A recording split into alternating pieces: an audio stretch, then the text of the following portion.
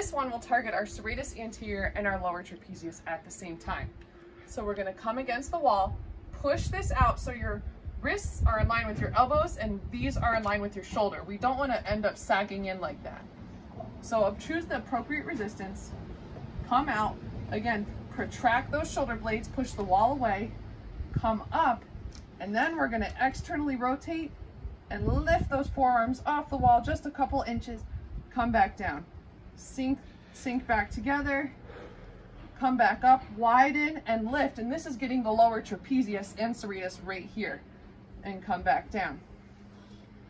Up, out, off, down. Do as many reps as possible and slow and methodically. That way you're really building endurance because we're strengthening endurance muscles here.